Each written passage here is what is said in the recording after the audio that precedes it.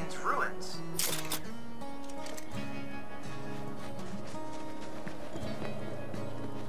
Wait, wait, wait.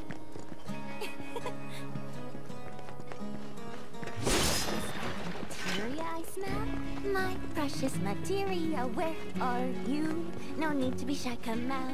Yuffie's gonna take you home.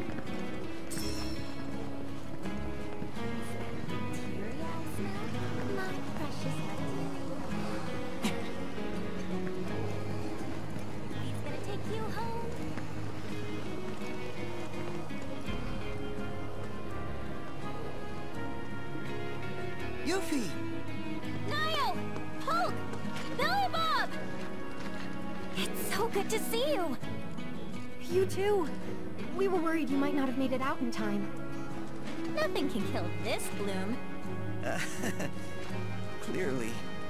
Hmm? Say, where's Sonon? Um... He, uh... Hey, you three! Splinter Cell. Where are my manners? These guys are from Avalanche HQ. They're the ones who helped me out back in Midgar. And I don't think they need an introduction. Y'all were at the Shinra building, weren't you? Tell me, was Wedge with you? Or did you see him? If you can tell me anything, anything at all, please, Wedge, he... I'm sorry. don't be. Just, I need to know.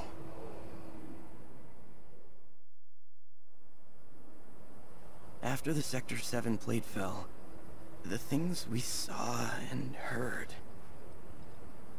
All the carnage, it was... hell.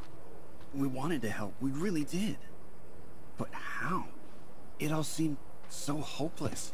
That's when the call came, from the folks at Avalanche HQ.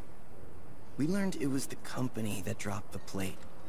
And that they were gonna drop another, unless we stopped them. HQ needed volunteers to help storm the Shinra building. This was our chance.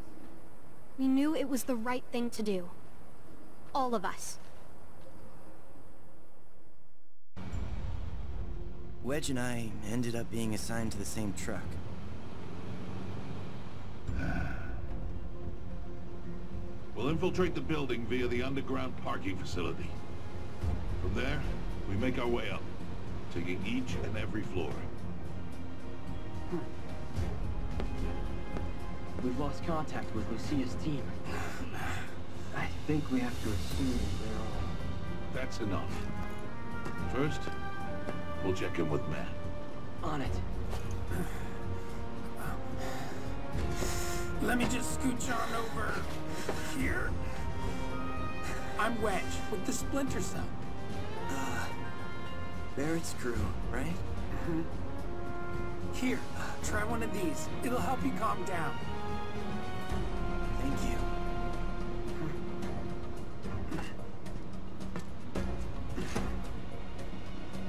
Go on, eat up.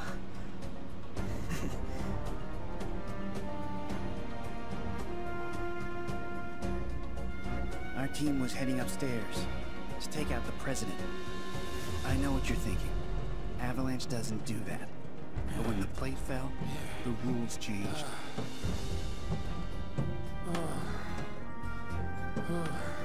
Come on, man. Get the lead out. Don't want to be left behind. Hey, thanks for the assist. Oh, oh, oh,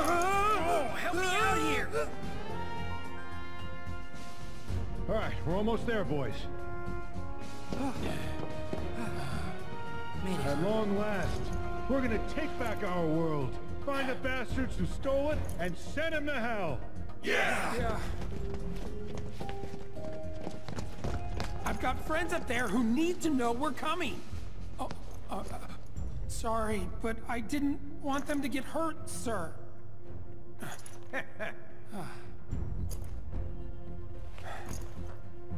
Go, I'll catch up. Right.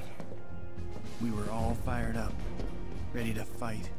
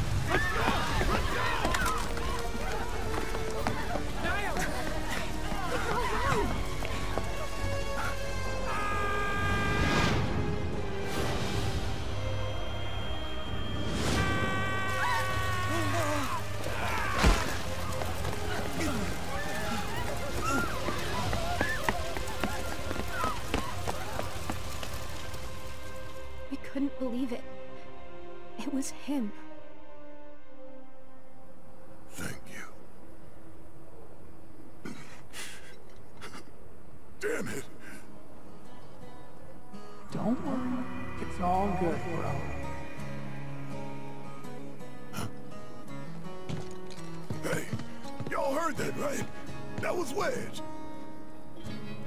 Barret, those who pass on become one with the life stream. I know what you thought you heard, but it was probably just the wind. Whatever. In times past, the Cetra came to fonts like these to give thanks to the life stream. There aren't many left, so we wanted to help preserve the few still standing. It felt like the least we could do, you know? For all those who return to the planet. Hey, Barret. Why don't we give them a hand? Help them spruce things up. Is There anything we can do for you? I don't know, restore the planetary fonts? They're this region's main source of energy. And kinda like relief valves for the life stream. But when they're as busted as this one here, you can't even get close to do repairs. Mako's way too dense. So, we figured we'd use a probe. Fix the fonts remotely. Thing is, little guy's just too old. Probably better off in a junkyard than with us. Perhaps I can be of service? Robotics is one of my areas of expertise. Meet Robot Chadley. Or Robo-Chad if you prefer something abridged. At any rate, you should now have complete control over him. Go on, ask him to do something.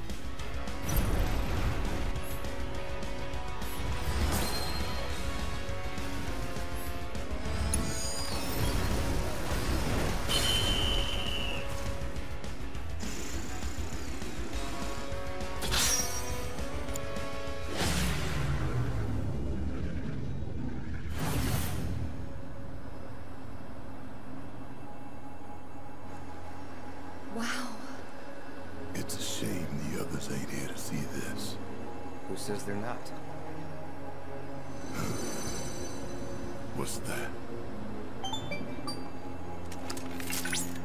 I believe that light will lead us to another set of ruins.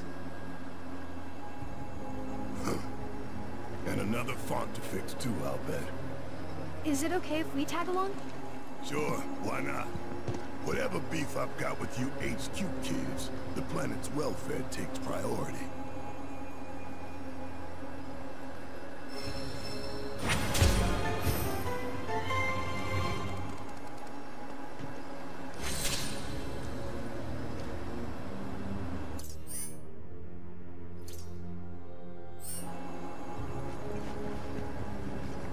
The pace around here is a lot more laid back than the hustle and bustle of Midgar. Honestly, I could get used to this. Wedge must have been one hell of a cook. Wish we could have talked more. The planet is incredible.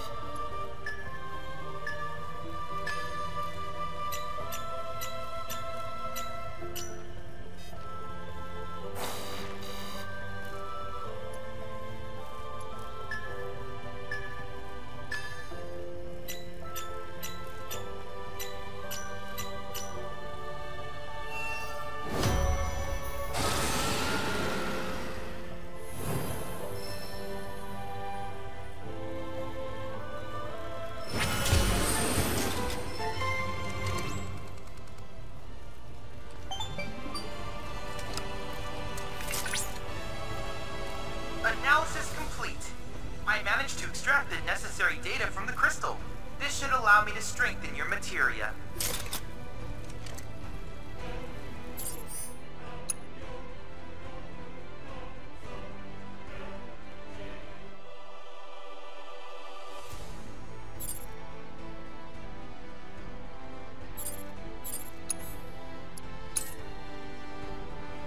Chocobo, choco, choco, chocobo. I'm on a choco.